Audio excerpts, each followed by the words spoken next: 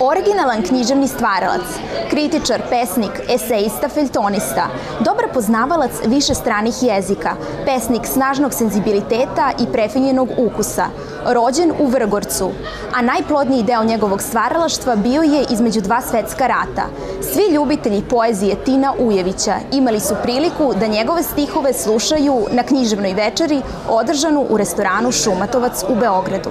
Zajednica Hrvata Beograda, Tin Ujević, organizovala je književno veče posvećeno Tinu Ujeviću u restoranu Šumatovac u Beogradu, čiji je cilj uspostavljanje dijaloga, razumevanja i tolerancije kroz pesmu, muziku, film, kulturu. Prošlo je četiri godine od osnivanja zajednice Hrvata Beograda Tin Ujević i za sve ovo vreme organizovali su 22 manifestacije od književnih večeri, tribina do retrospektiva filmova poznatih reditelja – Magija je prva reč koja nam pada na pamet kada pomislimo na učinak pesništva kakvo je Ujevićevo. Pesništvo koje sve preobražava i sve mu daje moć, kakvu prethodno nije imalo. S obzirom da je Tinov izraz nekada nejasan, muljevit, neuhvatljiv, u gipkim prelivanjima, a nekada iskričav i precizan – Tako i film prati smenjivanje kadrova od predela rodnog kraja, retorike savremenika i osobnih prijatelja, poznatih glumaca koji govore njegove stihove, do crno-belih kadrova iz života pesnika snimljenih na ulicama Zagreba 50. godina prošlog veka. Još se sjećam stabala mojega djetinstva, kostela, murve i bazge. Matokit je slavniji i ponosniji nego Učka. On nad kojim sam gledao visoki i ukleti mjesec zavjetovan vješticama i vilenjacima. Moja je kolijevka bila puna čarolije, mjesečevih vragolija i čaranja, pređe priča, basna i gatka i maštovite zagonetnosti. Kult lijepih osjećaja nije kod mene knjiška pozajmica. Njega mi je dala mjesečina, obasjavši u kuli moju kolijevku.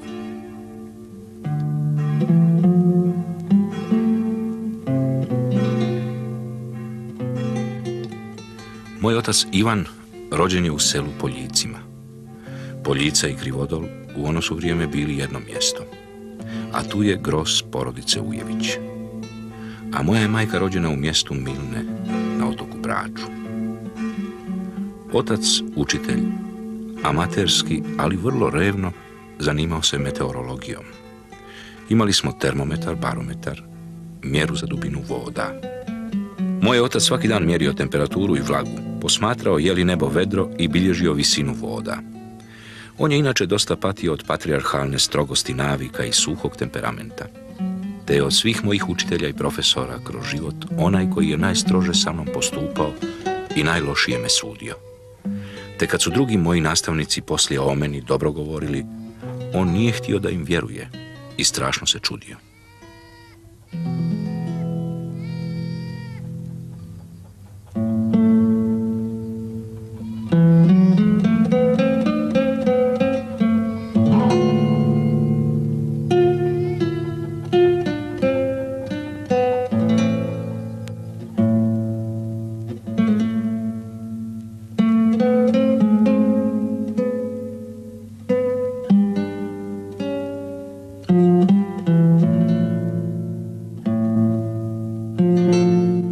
Vrgorca nismo prešli ravno u Makarsku, nego smo se zadržali u Krivodolu i u Imotskom. Noć kada smo diližansom odlazili iz Vrgorca bila je sjajna, a mjesec je visoko odskakao nad kakvom šumom. Vrgorsko-imotska krajina raspolaže nesumnjivim prirodnim ljepotama i takvima kakve se ne mogu naći na primorju. U njoj gajde ječe dionizijski, kao u doba boga Pana. Mašta i praznovjerice žive čudnovato do danas. Hajduci su se skrivali s obje strane te granice, podržavani svojim jatacima. Krvna osveta je bila na dnevnom redu, a žandari dugo nisu bili u stanju da svladaju sve odmetnike i romantične razbojnike.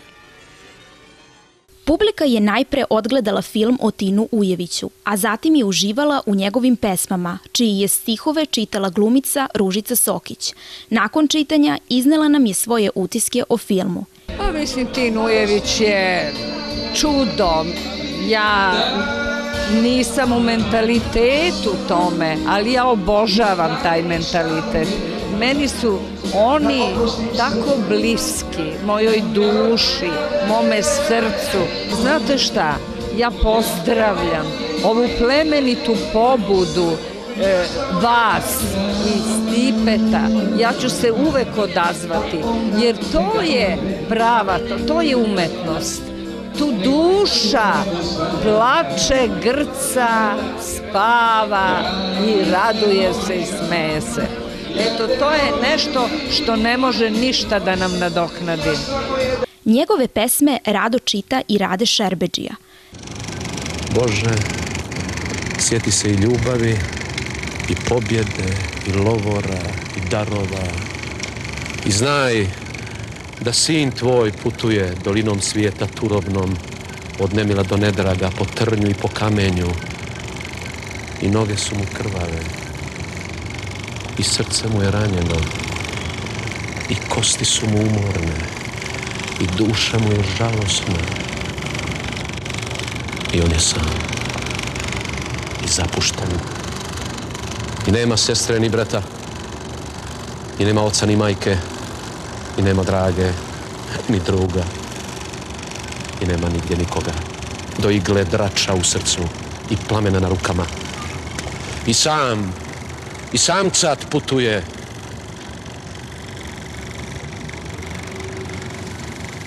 Dolinom svijeta turobnom. Komu da se potuži? Da njega niko ne sluša, ni braća koja lutaju. Utiske o filmu i nešto o samom Tinu Ujeviću izneli su nam i članovi zajednice Hrvata Beograda Tin Ujević, Predrag Babić i Stipe Ercegović.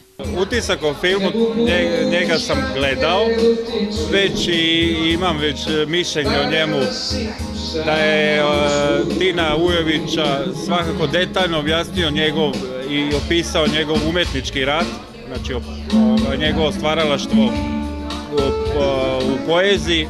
Međutim, e, pošto je to snimljeno kad je snimljen taj film, preskočeno je njegovo veliko jugoslavenstvo koje je posle bilo razočaran i bio u to, ali on je došao u Srbiju zato što je osjećao se velikim jugoslovenom i imao je veliku želju da se stvari jedna više nacionalna država. To u ovom filmu nema, nego je opisan, ali vrlo detaljno njegov, njegov umetnički rad njegovo stvaralaštvo u poeziji, nije dovoljno opisan njegov, njegova opšte znanje. Malo je rečeno da je on provodio one e, sate i sate po bibliotekama čitajući enciklopedije, ali on je govorio šest, sedam jezika. E, čak je imao i prevod sa korejskog jezika. Prosto je bio jedan genijalan um i to je trebalo po meni isto u ovom filmu naglasiti, ali ne može se sve u 25 minuta reći i napraviti. Ten želja ovoga autora filma je bila pre svega ga pokaže kao najvećeg pesnika ovog podneblja. To. Razlog zašto smo ovdje je taj e, naša klub, naša, naše društvo nosi ime Tina Ujevića. I mi smo zadali sebi jedan zadatak, jednu obavezu da bar jednom godišnje organizujemo književno veće posvećeno ovom vrstnom pjesniku koji je dobar deo života proveo u Beogradu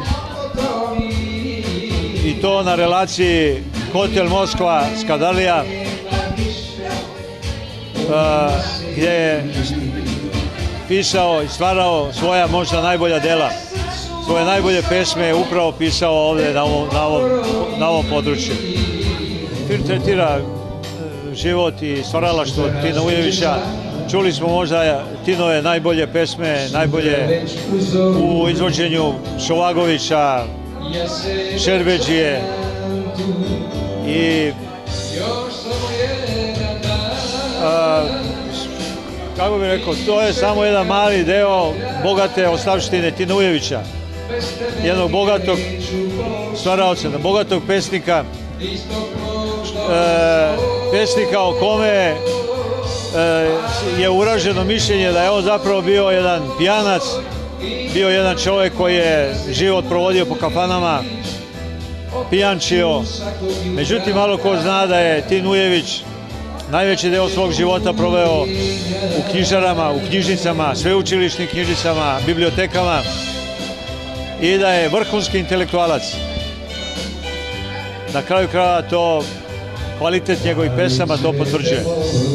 Posetioci književne večeri posvećenoj Tinu Ujeviću bili su oduševljeni prikazanim filmom, kao i čitanjem stihova glumice Ružice Sokić, a krajem aprila imaće priliku da u restoranu Šumatovac u Beogradu uživaju u dalmatinskim vinima, kulinarskim specijalitetima i u dalmatinskoj muzici u okviru dalmatinskih dana koji se održavaju od 25. do 28. aprila. Kad ću opet da te vidim Tek sad vidim šta mi znači Vela luko moje Uspomen neće me samo ostati. Zamrki te i žale Za naš ošnjak i vale Vela mala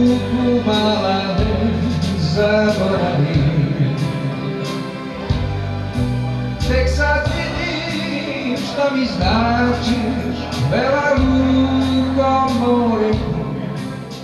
Uspomene će mi samo ostati. Zamrkim te i žale Za naš ognja i vale. Bela sabor a